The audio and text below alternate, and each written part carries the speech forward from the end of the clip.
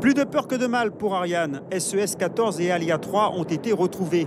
Les deux satellites passagers du 241e vol d'Ariane ont bien été mis sur orbite, mais pas au bon endroit. Selon ses propriétaires, SES-14 atteindra son positionnement définitif dans environ 4 mois en utilisant un peu plus d'énergie que le prévoyaient ses responsables. Conséquence, peut-être une durée de vie raccourcie. Quant à Alia 3, les informations sont moins précises.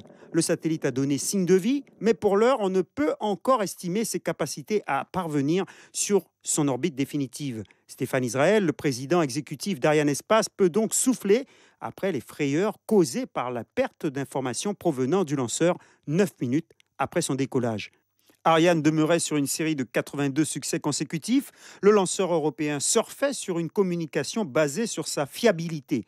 Il faudra maintenant déterminer les raisons de cette mission aux résultats mitigés afin de repartir en vol au plus vite. Le deuxième lancement de l'année était prévu le 16 mars prochain.